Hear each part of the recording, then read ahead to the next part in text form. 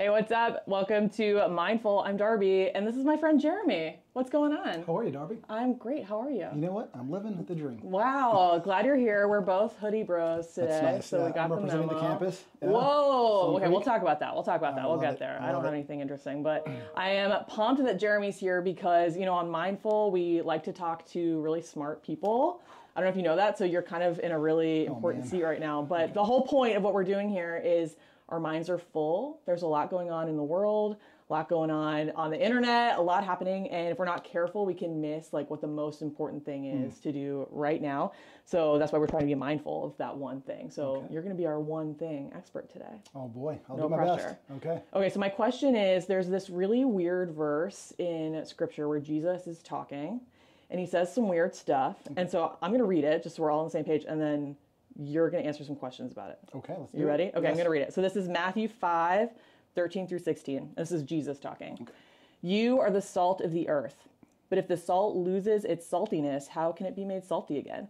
It's not good for anything except to be thrown out and trampled. You are the light of the world. A town built on a hill cannot be hidden. Neither do people light a lamp and put it under a bowl. Instead, they put it on its stand, and it gives light to everyone in the house. In the same way, let your light shine before others that they may see your good deeds and glorify your Father in heaven. Okay. Jesus uses some like very flowery language there. It's kind of poetic. It is. It's kind It of is, beautiful. Yes. What what does that mean? I guess that's the first question. Is like what is that like salt and light? I feel like those are poignant like that's imagery that Jesus is using on purpose. So help flesh that out. Yeah. Well, I, and here's what I love about this imagery and these words is that at the core of it, they're simple. Hmm. Uh, salt and light, uh, two things that you and I can resonate with, or anyone can actually resonate with. And so, um, at that time, uh, what the people then would have understood is that they didn't have refrigerators. And so, if you wanted to preserve something, you packed it in salt. It kept it safe. Gotcha. But whenever you would eat it, it would be salty, and it would make you thirsty. And so, when Jesus is telling those followers of that day, be salt, he's saying, hey, make a compelling case for people to be interested in what you have to say by the way that you live. And so, what would draw you close? Like, you know, when you're thirsty, you want to be drawn toward something. Uh, typically, for us, when we're thirsty, we want to be drawn toward water or something that replenishes us. And so, how can you live your life in such a way that you're salt, that you draw people towards you? Uh, and the same goes with Beautiful. light. Uh, think about it. Like, if, if we shut off all the lights here and it was completely dark and we had a single flame going, we would be able to see that flame. So it doesn't matter how dark things are, uh, whenever there's light present, it eradicates the darkness. And so that's really the simplicity of it is that if you live your life in a compelling way, whether you draw people close, or you live your life in a way that is light for others to see, It's cool. well, then they're going to take notice and they want to know what makes you live that way. I like that. It reminds me of, uh, I'm going to be really honest. In my apartment, I had a little bit of a gnat problem for a while because I had like plants and whatever. And my friend told me to get one of those blue light Yes. plug in sticky trap things.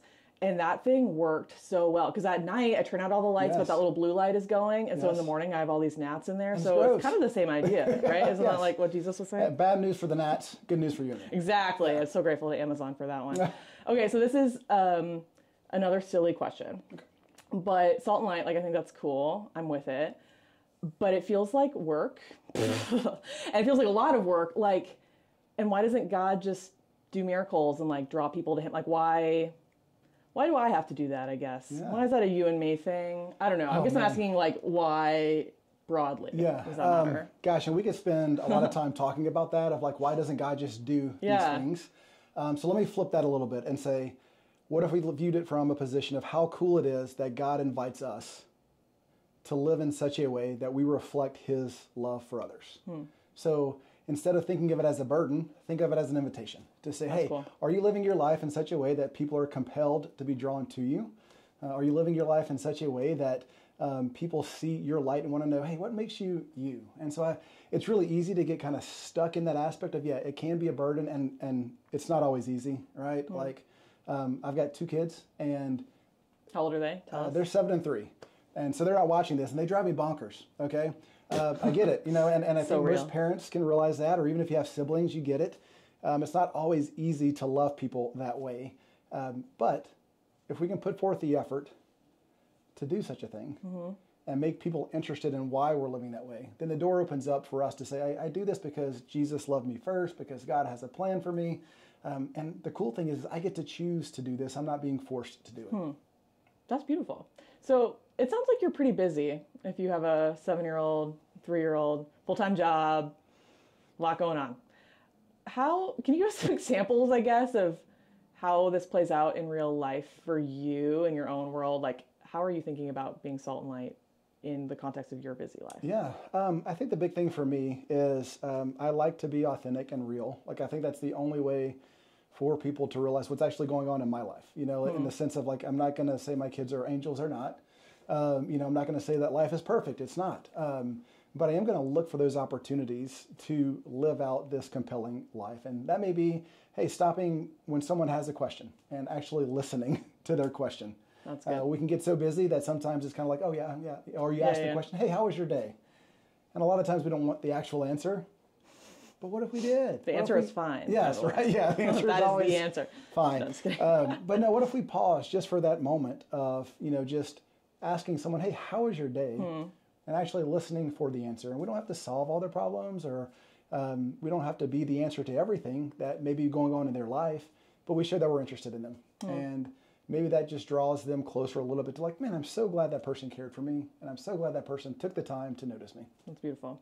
Do you have examples of other people? I bet you know a lot of salt and light kind of people just because Jeremy's a pastor. I don't know if I said that, but you are you with a lot of churchy people. Yeah. Can you tell us about some people that do this really well that yeah. can inspire us a little bit? Totally. So um, my favorite example of this is before I even knew who Jesus was. Okay, like, uh, and this goes all the way back to high school, mm-hmm. which you know I guess I'm not that old, but the gray hair says I am.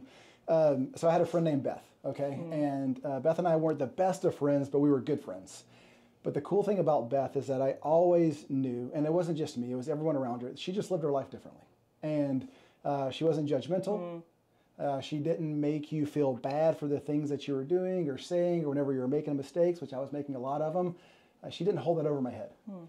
And that relationship lasted for years in the sense of like I knew that she was a friend that no matter what was happening in my life, I could go to. And she would meet me with grace and love uh, she'd also meet me with truth, but because she was so caring, um, mm. I had the opportunity to know that I was in a safe spot. And so that's, that's cool. like the the pre-Jesus Jeremy version of someone who did this really well. And and I'll forever remember that because like that was such a pivotal moment in my life. I mean, school age is, high school is. Uh, and she lived her life in such a way that it, it compelled me to be drawn near to her hmm. uh, and really to want to be a better person when I was around her. That's beautiful. Yeah. Thanks, Beth. yeah, That's yeah. awesome. Beth, That's a watching, good one. Thank thanks, thanks, girl. Um, okay, so I want to tell you about one too. So okay. I have a friend, Casey, who I've known for a couple years, and she is so good at dropping like truth bombs on people, like encouraging, wonderful truth bombs. Like someone will be talking bad about themselves mm. or about uh, you know like like a negative body image thing or like just kind of a bad thing in their minds or whatever. And Casey will always be the person to go like you're so loved. Like what? Mm. Like God is so good, and like, and I just love that about her yes. because she's so good at, and not in a weird, like cringy way, but just in a like she cares about you and she yes. wants you to see you how God sees you. And I love that about her. Yeah. Like it makes me want to be around her because I'm like, you are gonna speak truth in a way that's so fun and fresh, and I love that. Yeah. It's really cool. Well, how cool would that be if we, you know, we, we left here and okay our first step is let me go be an encourager to someone yeah. just like casey right it's like let me let me find that person that maybe needs a small bit of encouragement so good and just live that on their life for them i love that i love that uh, good job casey casey casey and beth that's what's up okay so you guys might not know watching, but we're based in the DFW area, like northern suburbs. And Chase Oaks is like one church in a lot of locations. And Jeremy is one of the pastors at one of those campuses. Yeah. And so what I what's cool about this like salt and light conversation is that there's a lot of really practical things we can do where we're at to yeah. to do that. Like there's a lot of like relational things like listening and being an encourager, but there's also like practical needs we can meet or ways that we can do good right here. So I know I'm putting you on the spot a little yes. bit, but if for people who are listening who are like, okay, yeah, I'm into that, can you tell us about maybe some opportunities yeah. or things we can be thinking about uh, and join in on? Yeah, so I'll use uh, three three examples. Okay. Okay, and, let's go. Wow, you're ready. All going to start with P. You know, because that's what pastors do is they rhyme things. Uh, do so pastors just think like that? yeah. Because you just pulled that out. Okay. You're constantly right. looking for that sermon illustration. uh, so the first one is to be a pal, and all pal means is to be a friend. I like it. and uh, that's what Beth was to me and still is. That's what Mm-hmm. Casey was to you or still is. Uh, but we can always be that opportunity for others to trust us, and that just is what a friend is. Uh, the second one is to be a partner, Hmm. and that is to find a organization or um, someone doing good in your own community, wherever it may be, that's you partner with to continue to do good. And at Chase Oaks, we do a really that. good job of that. There's partnerships that we partner with in all of our communities. Uh, but you can become a part of that. And it doesn't have to be through a church, it can be through a number of different opportunities. But just find a way to make a difference by partnering with an organization that's doing good in your community. Uh, and then the last thing I would say is to become a player. Uh, and not in that sense, Don't hit the player, hit the game. I know, I know. Uh, but be a player uh, in the church world on a, on a ministry. You know, whether that's Kids Oh, that's Co, cool. or Yeah. whether that's student ministry, whether that's production or first impressions, whatever it may be, uh, you can be a team member to help us to create these environments that let people know they're loved. so a Hmm. Pal, beautiful. a partner, a player. You were ready with that. That's pretty good. I like that. and uh, hey, wherever you are, I bet there are opportunities to be a pal, partner, or player in whatever city you're at. But if you are here, like, man, we'd love to talk to you or meet you or just help you think through that. So we'll have links in the description. This will go on YouTube, um, or we can you can find out more if you're interested. But Jeremy, thank you for being here. Thanks for having me. helping us be salt and light and Yeah. uh, keeping that like the one thing. If you're gonna do anything, just be salt and light this week. So, uh, man, thanks for joining us for Mindful, and thank you for joining us. And we'll see you again next time. See you later.